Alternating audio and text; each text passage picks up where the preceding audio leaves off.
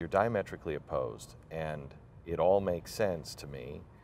And political correctness is forcing us to look at people in little boxes Mm-hmm. and then say, ah, you're that or you're this.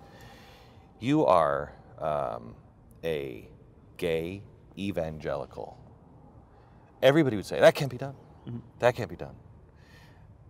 Um, I have seen people, and it, it happens to everybody no matter what it is.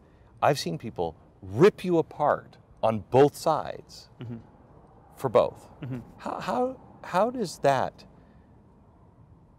what, what, what, how does that drive you? Does that drive you at all? Does that, does that on political correctness of having to conform and mm-hmm. being what everybody says you're supposed to be?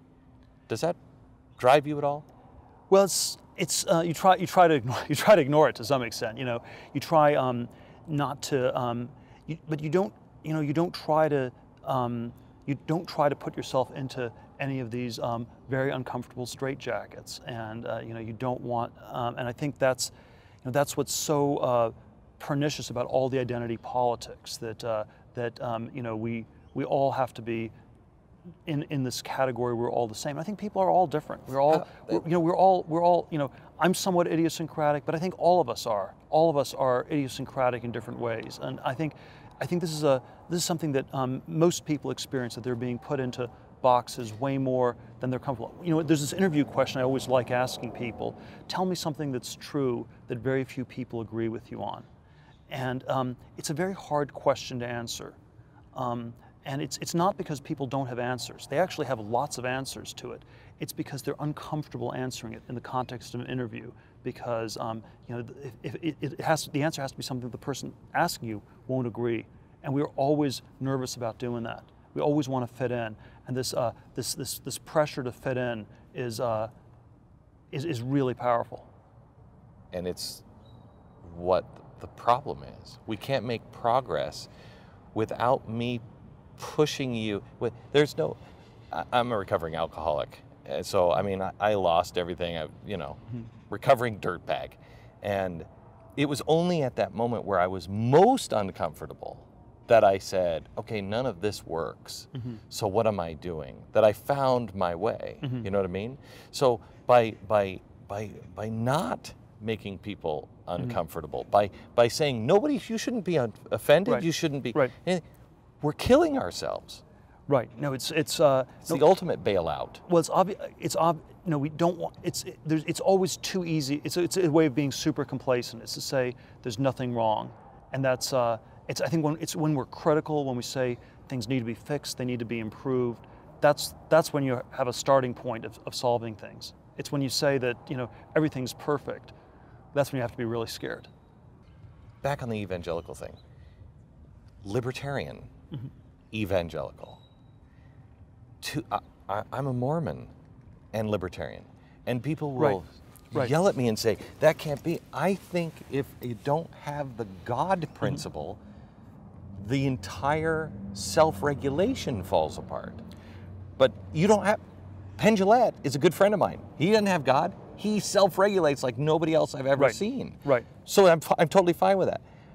How do we get libertarians and God people to put their swords and shields down and just say, "Hey, dude, I'm cool with you.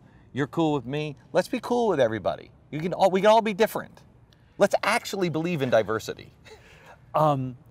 Well, I think there are all these there are all these uh, misconceptions. So just from a from a Christian perspective, I think people always um, make a mistake of trying to put Christ into some sort of political Right. uh, agenda, and I think Right. that's um, if you try to do that, that's the most straightforward way to misinterpret Christianity. You know, it's um, if, if anything, Christ was extremely skeptical of politics. Um, you know, when Christ said that he was the Son of God, on, on one level, this is some theological, metaphysical statement, but on another level, it's an anti political statement because Augustus was the son of Caesar. Caesar was divinized after his death.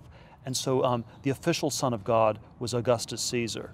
And so when Christ said that he was the Son of God, he was really saying that the emperor was not the Son of God in political terms. And that's why Christ got in trouble because he was, uh, he was, um, he, he did not believe that the political order was divinely ordained. And I think uh, one of the things that um, evangelicals and libertarians um, should agree on is that the political order is not divinely ordained.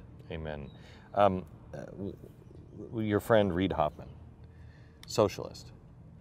Left of center. I would, he, yeah, he, I think he says he's, he, he says he's socialist, but yeah, he's somewhere, right. he's, he's liberal. but he's a friend.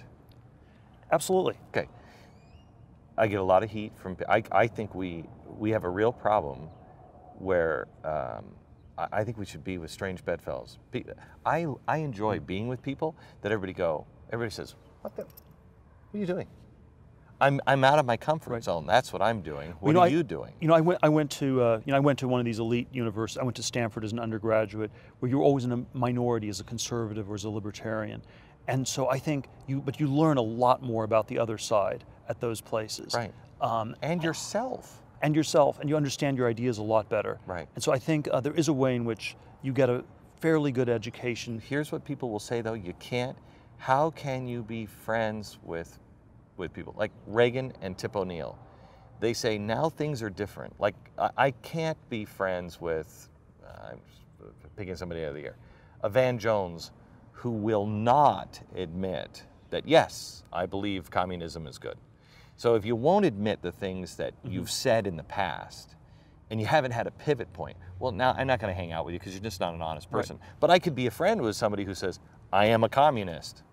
Okay, I. Yeah, I'm not sure I about the communist. disagree I'm not sure I'd go as far as the communists. Yeah, but I mean, uh, you. But if they're open and honest and they're not trying to shoot you but I, th- I think, over it, Yeah, but I think, um, but I think it's always um, you can always be friends with people if the politics is not totalizing. So if it's 100% politics, if that's all that exists, yes. uh, if there's nothing but politics, then then it becomes all important, and um, you can't be friends with people uh, that you uh, have disagreements about. But uh, but friendship is is precisely meant to be something that um, you know exists independent of politics or Transcends indep- transcends you know uh, the the sort of political correctness that we're, we're all seeped in.